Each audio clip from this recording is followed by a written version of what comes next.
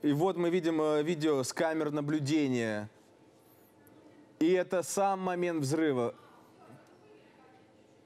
Э, Вот в правом верхнем углу была видна яркая вспышка. Несколько человек пострадали, они э, остаются без движения.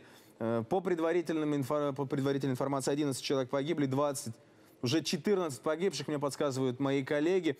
Больше 30 человек пострадало. Э, и вот это тот самый момент взрыва. Давайте еще раз посмотрим.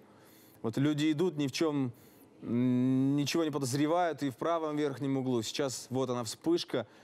Да, несколько человек сразу, э, э, сразу упали на пол аэропорта, часть э, разбежались. Пока неизвестно, что стало причиной взрыва. Но я напомню, что совсем недавно задержали одного из террористов именно э, в Бельгии.